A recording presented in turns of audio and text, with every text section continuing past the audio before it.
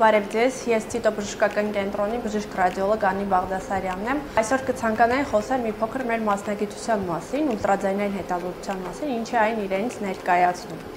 Ուրեմն ուլտրաձայնային հետազոտությունը դա ոչ իոնիզացնող ռադիոլոգիական հետազոտություն է, որի ժամանակ ուլտրաձայնային ալիքների օգնությամբ հետազոտում են մի շարք օրգան համակարգեր։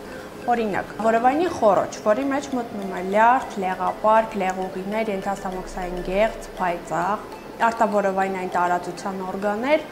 երիկամներ, միզուղիներ, մագերիկամներ, փոքր կոնքի օրգաններ, կանանց մոտ արգան ձվարաններ, տղամարդկանց մոտ շագանակագեղ, մանկաբարձությունում հղիության որոշում, պտուղ, պտղի զարգացման արատներ, հետազոտում են նաև կրծքագեղձեր, վահանաձև գեղձ, լիմֆատիկ հանգույցներ, փափուկ հյուսվածքներ, հոդեր, նյարդեր, սրտի ուլտրաձայնային հետազոտություն նույնպես գոյություն ունի, որը կոչվում է նաև էխոկարդիոգրաֆիա,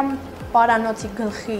զարկերակներ եւ երակներ, ինչպես նաև վերին եւ ստորին վերջույթների զարկերակներ, երակներ, որը կոչվում է նաև դուպլեքս հետազոտություն։ Մեր կենտրոնում արկա են երկու նորագույն գեժամանակակից ուլտրաձայնային համակարգեր, Toshiba Apleo 500 եւ Toshiba Apleo 500 Platinum, որոնք ունեն մի շարք ֆունկցիաներ, կարևորագույն ֆունկցիաներ, որոնցից մեկը ես այսօր կփորձեմ առանձնացնել, դա էլաստոգրաֆիան է